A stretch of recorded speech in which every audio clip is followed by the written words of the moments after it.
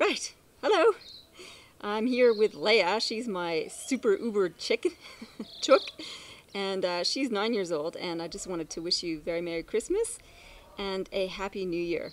It's been an amazing year this year. We did so many great things uh, in service to leaders around the world. We launched the Edge of Leadership on conference, which was fantastic, and our next one's coming up in March. I'll be here in a minute we started our Leaders Edge Mastermind, had an extraordinary trip on the Larapinta, which was great. And we also did a leadership retreat in Tasmania on the Freycinet, which was really awesome.